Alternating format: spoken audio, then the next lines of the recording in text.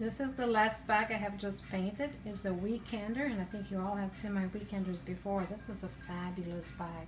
And this one is blue, so it will match beautiful your jeans. Very, very nice. It will get everybody's attention either at the airport or if you're just going for a quick week weekend trip. Um, the big eyed Yorkies, my style, of course, and they were painted uh, with a little shim to their eyes. I don't know if you can see the details, but their eyes are quite deep. And this is beautiful bag. I hope you'll enjoy this. The bag itself is fabulous. It is lined. It has internal pockets. They have side snaps and a back zipper.